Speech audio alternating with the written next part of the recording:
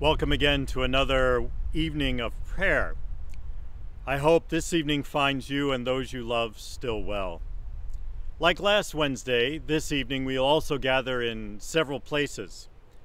These places, like the businesses we visited last week, are also closed, but not to business, only to visitors.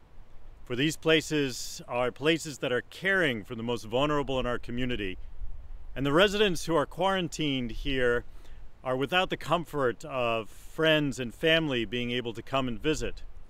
They need our prayers. And the staff who come every day and try not to bring the virus or leave work with the virus need our prayers. And of course, those who are not able to visit and miss being with those they love need our prayers as well. We begin not far from grace, here at the field home, where several of our Grace members have come for rehab and for recovery, and where one is stuck in his room right now. It is a place that definitely is in need of our prayers. So I welcome you to this evening prayer together. The Lord Almighty grant us a quiet night and peace at the last. Amen. It is good to give thanks to the Lord, to sing praises to your name, O Most High, to herald your love in the morning, your truth at the close of the day.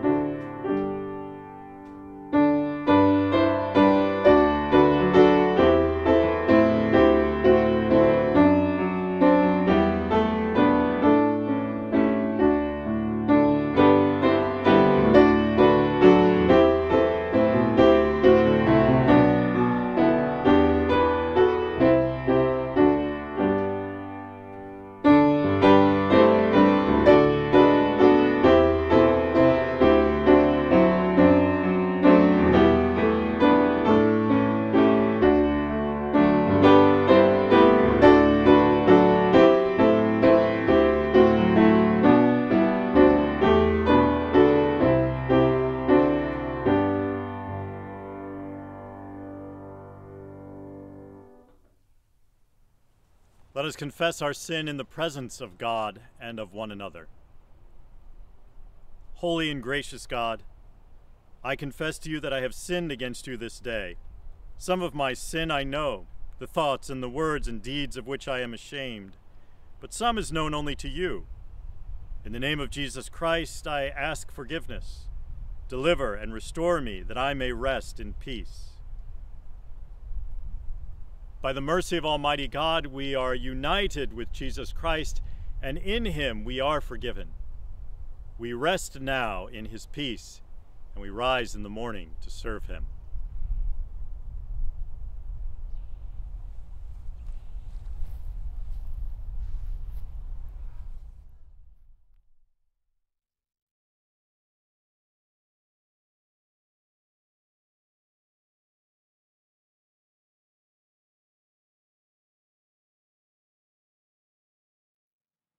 Continue our evening prayer here in Somers at what most people remember as Somers Manor, but is now the Paramount at Somers.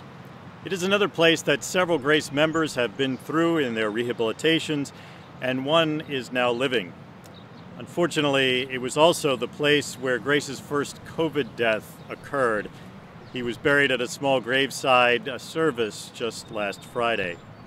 We pray for his wife, his widow now, who lives here alone, and uh, for her family and for her friends that would like to be able to come and visit with her and support her in this time of grief, but are not able to because of the virus. This virus is making a difficult time even more difficult for some people, and they definitely need our prayers. I ask you to join me this evening in reading responsively Psalm 23. The Lord is my shepherd, I shall not want. He makes me lie down in green pastures. He leads me beside the still waters.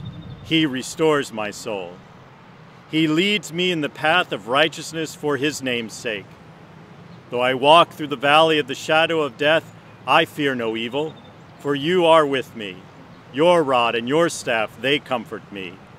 You prepare a table before me in the presence of my enemies. You anoint my head with oil. My cup overflows. Surely goodness and mercy shall follow me all the days of my life, and I will dwell in the house of the Lord forever.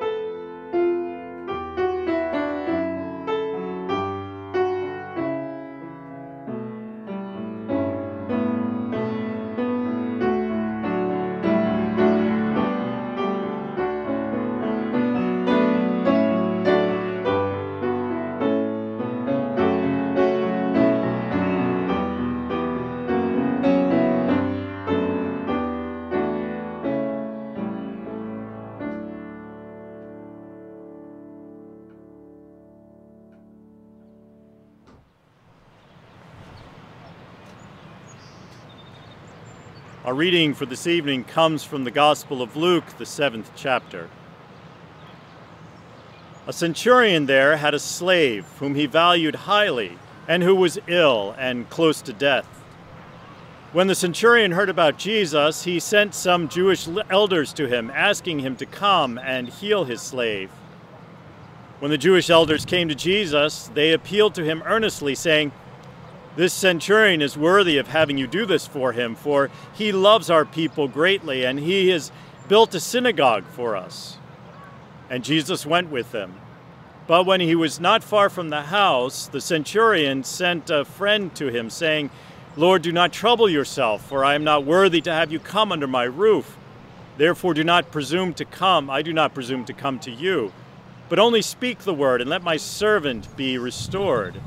For I am a man set under authority with soldiers under me, and I say, Go, and he goes, and to another, Come, and he comes, and I say, Do this, and the slave does it. When Jesus heard this, he was amazed at him, and turning to the crowd that followed him, he said, I tell you that not even in Israel have I found such faith. When those who he had sent returned to the house, they found the slave in good health. The word of the Lord. Thanks be to God. Into your hands, O Lord, I commend my spirit. Into your hands I commend my spirit. You have redeemed me, O Lord, God of truth. Into your hands I commend my spirit. Glory to the Father, and to the Son, and to the Holy Spirit. Into your hands I commend my spirit.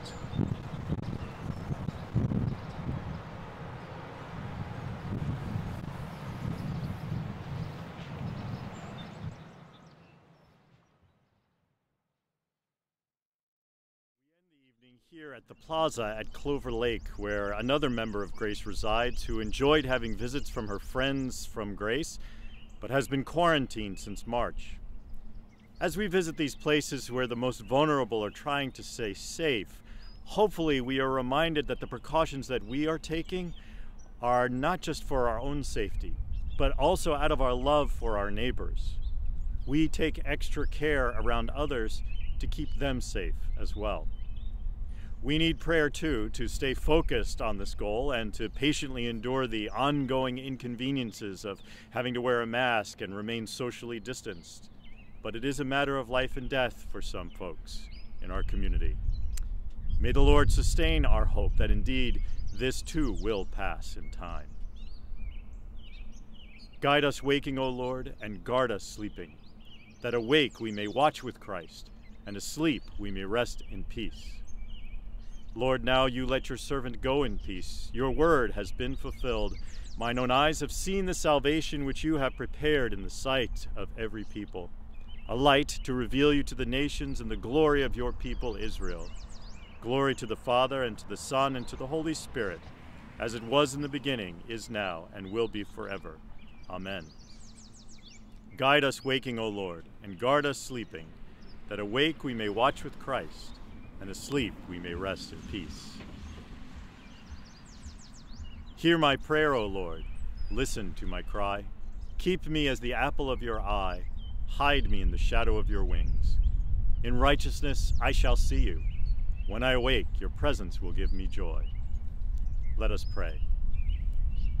Be present, merciful God, and protect us through the hours of this night so that we who are wearied by the changes and the chances of life may find our rest in you. Risen Christ, hear our prayer. Heavenly Father, we ask your blessing on the many who are anxious and afraid this night. Come to them with your presence that they will know peace and find rest from their troubles. To those who are struggling to breathe, give breath. To those racked with fever, bring relief. To those who are weary in their serving and care of others, give strength and patience risen Christ, hear our prayer. Heavenly Father, we humbly ask that you hear the prayers that we offer for ourselves in this moment.